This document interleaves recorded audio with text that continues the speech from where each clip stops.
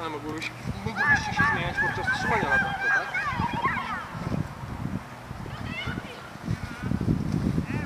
Natalia, nie trzeba! Karolina, chodź, cofnij się. Nie rozbijaj!